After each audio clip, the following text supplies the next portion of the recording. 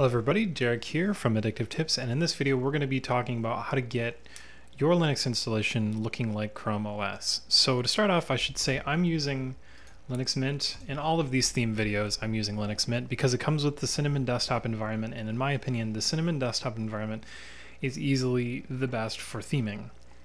The reasons are covered in the article. We also talk about other desktops you can use. Please check the description below to find all that information out. So I have written all of the commands out in a shell script and I'm going to run it so that we can easily get all this stuff taken care of because otherwise I'm going to be entering commands for a very long time. So to start off, I'm going to run my script.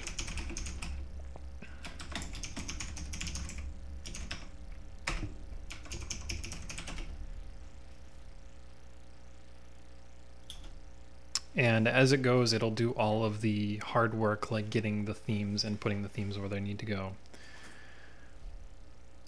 So now that my script is done, we can see that all of the, uh, you can see all the operations have gone through and uh, we can make our distribution look like, we can make our Linux distribution look like Chrome OS.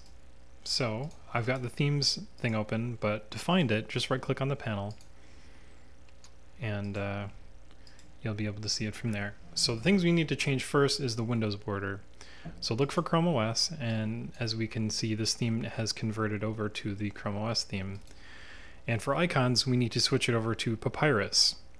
So the Papirus icon theme, it's a material design icon theme. It isn't the official theme for this pack, but it's the one that matches the best. Go to Controls and set that to Chrome OS as well. And then go to Desktop and set this as Chrome OS. Lastly, go over to the menu, click Configure, click Custom Icon, and then delete the menu stuff here.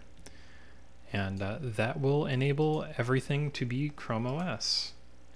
Now, it doesn't look perfect, uh, and this is because themes can only go so far, but it is the closest that you can get to Chrome OS looking anything under Linux.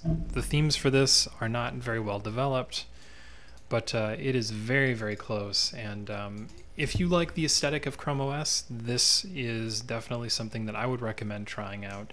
Please check the description. We have all of the information and commands that you need to do the following operations that i have just done in this video.